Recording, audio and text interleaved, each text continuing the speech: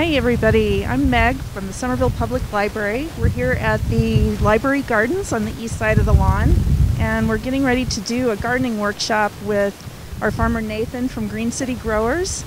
Um, this workshop is made possible with funding by the Friends of the Somerville Public Library. Thank you so much, friends.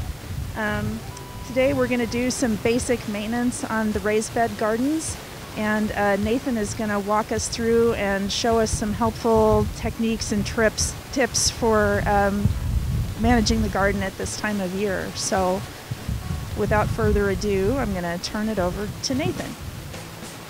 Hi guys, uh, I'm Nathan. Uh, so if we uh, go from left to right, uh, in this bed, uh, our peas haven't quite germinated quite well, but that's okay because it leads to new opportunities uh, with warm weather crops such as uh, cucumbers and tomatoes that we're putting today. Uh, then we're gonna reseed our greens mix uh, because uh, for lettuce it needs light to germinate. Yeah. You, you, don't quite bury it, you just kind of uh, sprinkle it on the surface. And then uh, add in some hot peppers. in this bed, we, we fortunately have some bok choy that's gone to flower, but that's just because of the dramatic shift in the, the past uh, two, two, weeks uh, with the hot weather. Our topic of the day is sort of um, is, uh, is hot weather uh, vegetables. So um, when you think of vegetables, you can think of them as like two different categories, cool weather and warm weather. Uh, cool weather would be bok choy, broccoli, uh, kale, and then hot weather would be more things that are more heat sensitive or, or, less heat sensitive, which are tomatoes, cucumbers, eggplants, and uh, sweet peppers and hot peppers.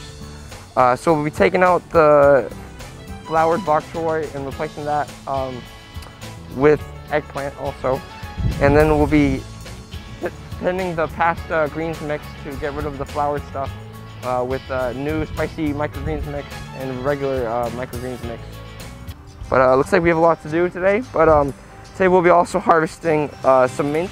To uh, prune back mint, we'll cut uh, about the top third and we'll do it all at a uniform uh, height so that the new growth is all uh, level with each other. And actually by the time we come back with uh, our next video in two weeks, or uh, next month, well, uh, this will all be grown back. And, uh, that's really something that you don't need to be worried about pr pruning too much of because it will usually always come back. and then we'll be harvesting some mix, some lettuce mix. But uh, let's get into that.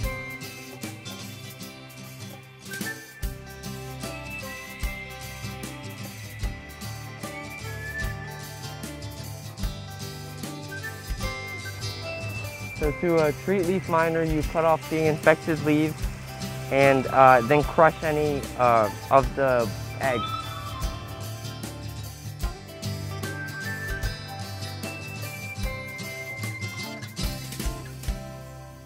This is it for our garden workshop today. Um, Nathan is going to give us a little summary of everything that we've done today. And as you can see from the background, gardening doesn't happen without like getting your hands dirty and making a bit of a mess. Um, but we did plan a lot of great things and we're looking forward to our next one in July. Um, you can check our website, uh, somervillepubliclibrary.org for more information about the next workshop and also our Facebook page is a great place to look for more event information. So I will let Nathan describe what we've done today and we'll see you next time. So for both beds we uh, weeded each. Then in this bed uh, we planted uh, cucumbers, tomatoes, and hot peppers, plus seeded out lettuce mix. And then, and, and then trellised the hot peppers and the tomatoes and then did some companion cropping, a companion planting with basil and some uh, edible, edible flowers. And then this one, we did the same with the tomatoes and companion uh, planting, plus planted out uh, eggplant and seeded out radishes and bush beans. So uh, yeah, we're looking pretty well. And uh, I just need to clean up and uh, do a few last minute weeding things, but it's turning out well.